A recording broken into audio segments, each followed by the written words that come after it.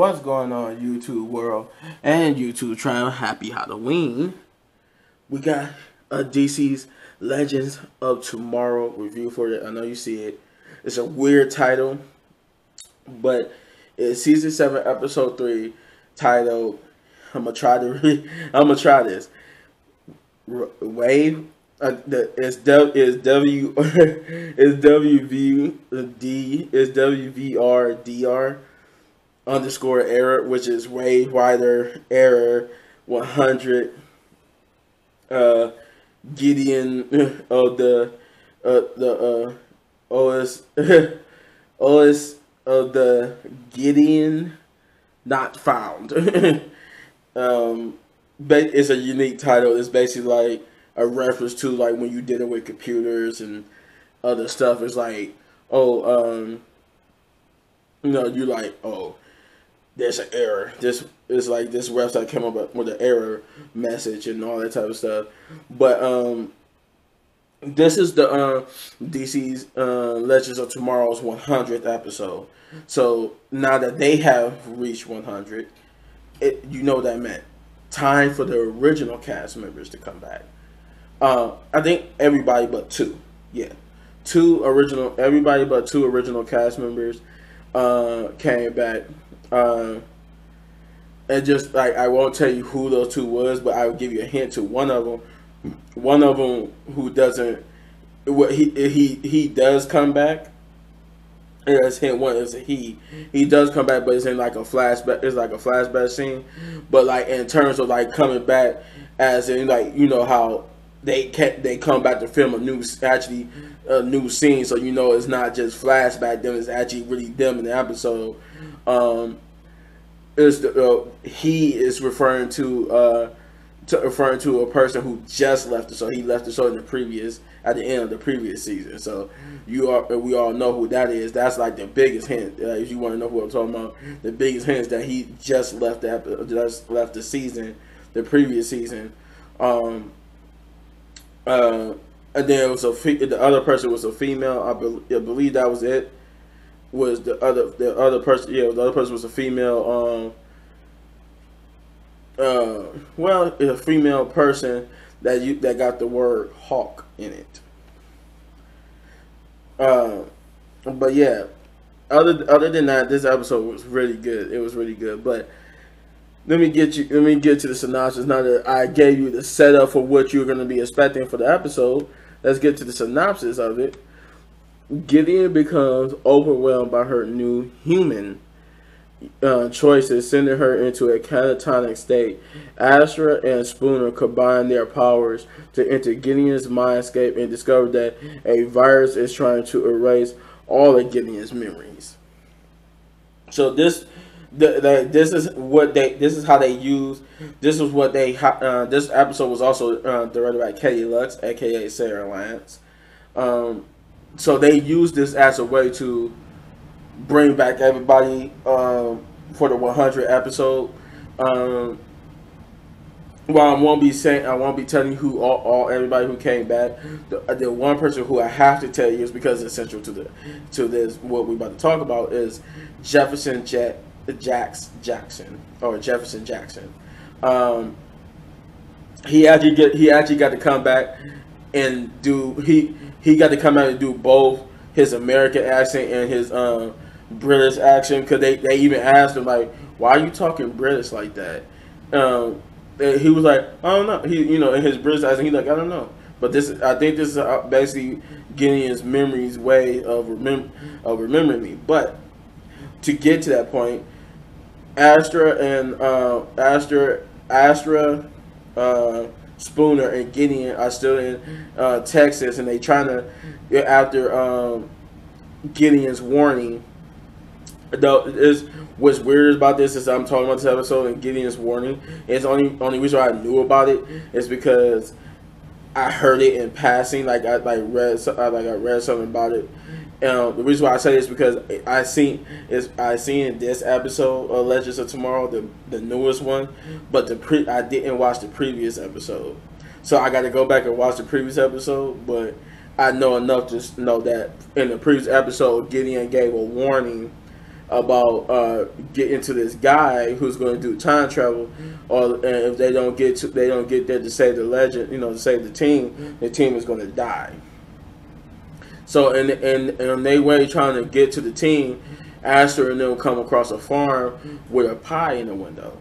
And we find out this pie is not just an ordinary pie; it's a historical uh, landmark. It's a historical event pie because this is this belongs. I forgot what who Gideon said it belongs to, but it belongs to this lady who, in history, in this pie is like a big significance in history. Like they, they, like they need not to be messed with.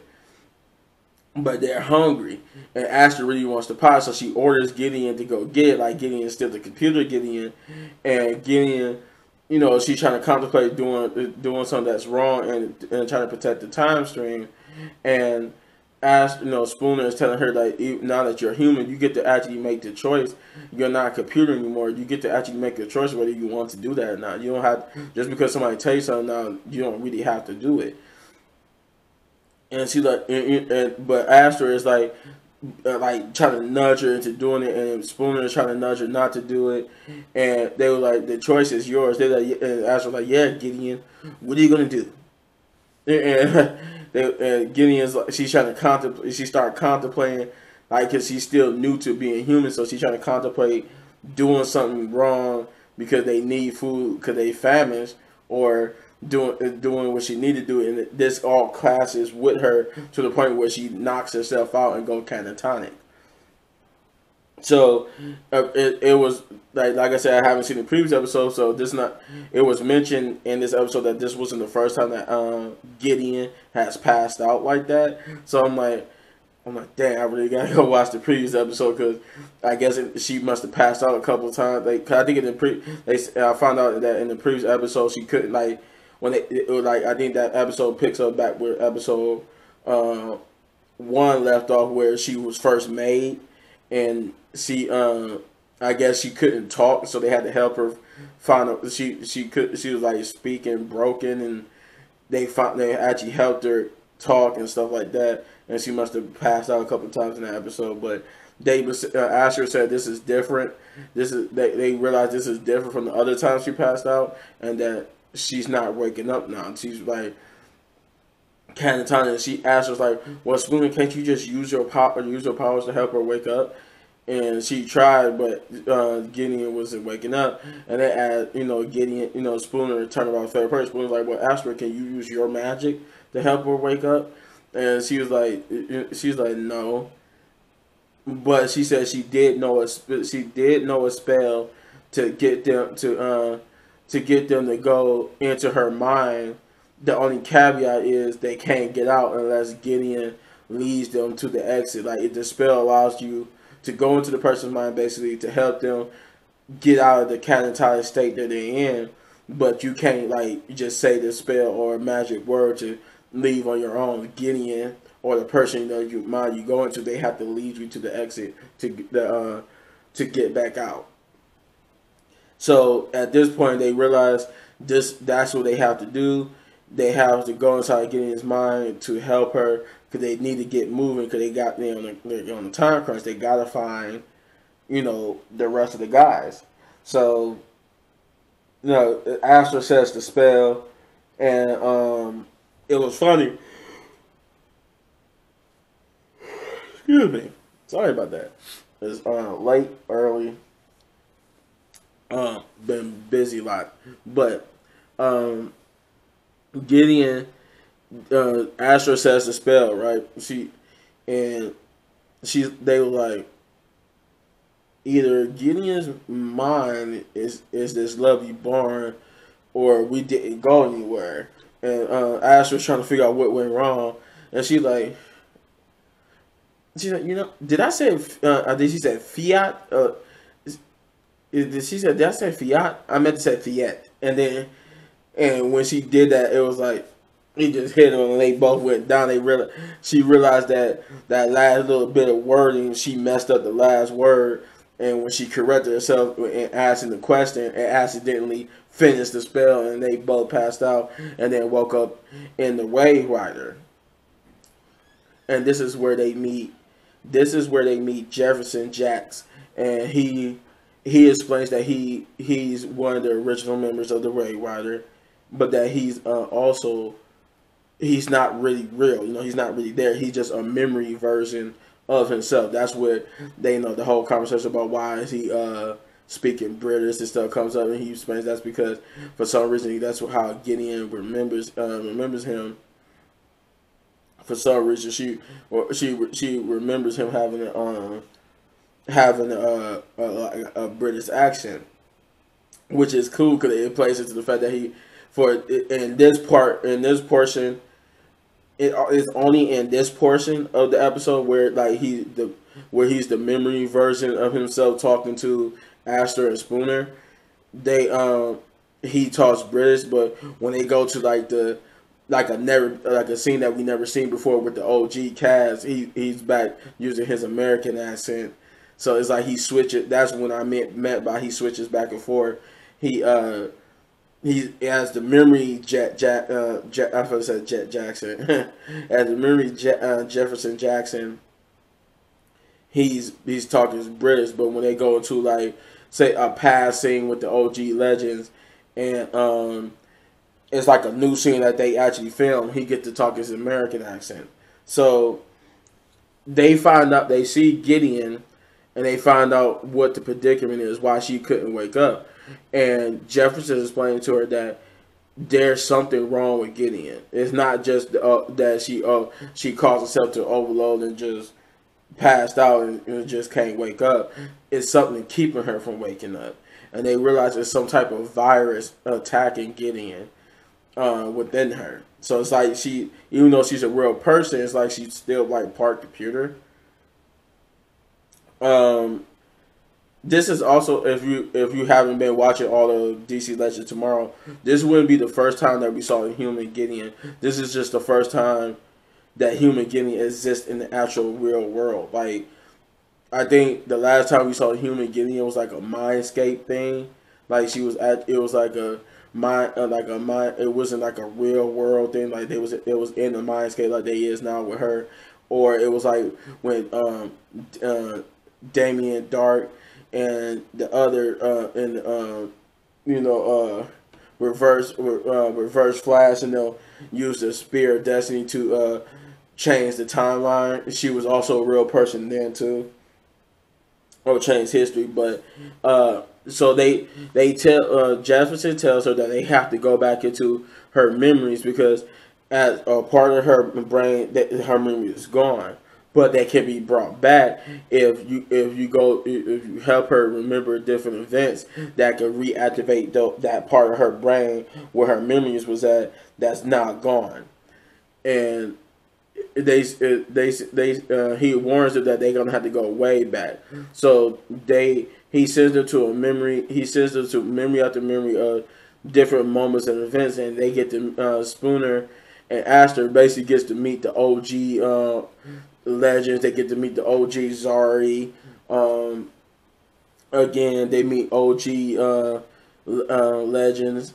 Um, man, I want to tell you who some of the legends, but I don't want to spoil it for you if you haven't seen the episode. Pretty sure you've seen it by now, but if you haven't seen it, I don't want to uh, spoil who comes who comes back. But um, I just I will say original captain, um, not just in for him too. So I give you that. I give you that one as you were if you know who the original captain is. Um, but yeah, this uh no this episode doesn't ha- doesn't have any present time legends like all the legends that you see, even the current team of legends. That you don't you don't see them none like it don't cut to them in the real time in real world time at all. They all any time uh, when you see them, it's all in Gideon's memory because this is how the 100 episode is taking place. This is how they able to bring people back without trying to explain how they how certain people who are dead are back alive again. That's another hint to who who came back because it's and I, I said peoples, so you know there's a couple of people who died uh, that came back so this is how they bring them back to life. The people who died. There's more than one person. I think I think it's like three. I want to say three, but yeah. So now they jump in memory after memory, trying to um, have, have her like she has. They jump into a memory with Rip Hunter, um, uh, where Rip Hunter, where Rip Hunter first brought the legends on board. Um, no, uh, memory with uh, with uh, Ray Palmer, uh, uh, uh, Leonard Snart. You know, they go to all these different memories of the, from the previous from previous episodes. Um, but I guess you, you like. I bet you like what you just telling us who was in the episode. No, I'm telling you who's in in these memories. Because some in these memories, these are just some of these memories are actual moments of um, from the previous season that we already seen before they just go back and see that moment played out. But we actually the people the scenes in which you could tell that these uh, that they actually when they actually they actually did come back to film an actual scene for this episode. Those those people those virtual the those people I won't reveal I won't reveal who actually came back and filmed episodes and scenes. But um, yeah, they they find out that the virus is not other than original Gideon. It's not actually a virus. It's just original. Is Gideon's original memory, and we find out that Rip did something. That's the reason. That's the reason why they thought it was an actual virus attacking her. But it's a reason why OG Gideon is uh is trying to corrupt uh, Gideon because um, Rip. There's like I said, there's a scene where Rip they show Rip doing something, and by me virtual me saying that I gave I at least give I gave you one that gives you one right there. That's one person you know that came back to actually film a new scene. That gives I give you one. I gave you one because that was like a critical part point I had to make, and like I had to say it, I had to say it was a scene, and this scene, and this scene was not a scene that we have. Like this scene is not a scene we have seen previous, have seen previously in the actual season. This is something that basically happened before Rip went and collected the le- the legends in the first season. This was like this this is like it takes place moments after, or it looked like this. It looked like it's a new scene that took place. No, okay, yeah, because they was talking about the legend. So this is like moments after Gideon first met the legend. So this is a brand new scene that takes place during the season one. So um, so yeah, this so I gave you Rip Hunter. So now you know that at least Rip, you know one person who did come back and actually film new scenes and was actually back for this episode was none other than the original Captain Rip Hunter. Though I think I already spoiled that earlier in this video, but um, yeah, so there's a there is a little beat down uh brawl fight with uh that happens because of the corruption. Um Spoon and them had some funny interactions with the uh OG legends. Um even though like I said the like the current team of legends wasn't seen it's not seen in actual real time the all the memory versions of them are in this episode and some and you could tell um this is how you could tell Caity was directing because she's the uh, out of everybody who sold up who sold up in the episode either in new scene or flashback um Caity was the uh, Caity Lotz was the only uh, uh I think uh, uh Cat is I saying right? Caity uh, uh Sara she uh she was the only one who basically wasn't in the episode that much. She had only a few scenes because most of the time she was behind the camera. Um, she even uh, you could tell she has some influence because there's a scene towards the end. There's a scene at the end where where they when they get back to the real world, and it has it has an arrow um little music to, um, put into it. Um, so it was like that was cool, but um I want I'm join uh, I'm missing I'm purposely not telling you juicy parts. Um, trying to see if there was anything else I need to uh, say before I close out this video. Um, uh, uh, oh yeah, it was a fun. It was babe. It was a fun scene with everybody. Uh, like I said, cut the, the, everybody gets corrupted. um, uh, uh, Sara does like because we haven't seen it in so long.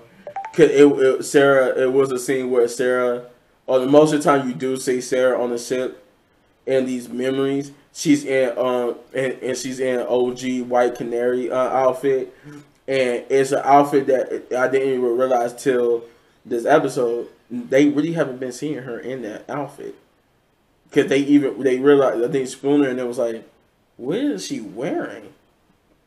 And it's like they don't realize that's her. That's her like her outfit. That's the outfit she wear, especially in the uh, crossovers. She wear that's the outfit she wears. She doesn't wear it when she on the Ray but when a crossover event happens, she that's the outfit she shoots up in. Is the white canary. They don't. They she never. I guess she never told Astra or Spooner that she's actually the superhero white canary. You know, um, so that was a fun little tidbit. But if I have to give this episode anything, I give it a um, you know, I give it ten big ups because it was it was a cool episode to see everybody back and to see it. It was fun. It was interesting to see why. And it was interesting to see uh, why like everything was happening to Gideon and the fact that this was a Gideon heavy essential episode and how they use they basically use that to celebrate the 100 episode by bringing everybody back via memory. Um, but yeah, if you haven't seen this episode, go see it, man. You you you really enjoy it. It's a good, fun 100th episode. But that's all I got. And if you really, if you enjoyed this video, then hit that button right there in the upper right corner for all of my reviews. And if you enjoyed the video so much that you want to support the channel, hit that like button, hit that spooky button, which is the subscribe button, and become part of the tribe uh, like so many people are doing, and hit that hit that notification button, turn all the notifications on so you don't miss when I drop videos. And as always, hit any one of these videos for more of my amazing content, but don't go anywhere because I still got that wrestling review coming up, and I got some more gameplay. So, peace out. See you later. And have a very, very good Halloween.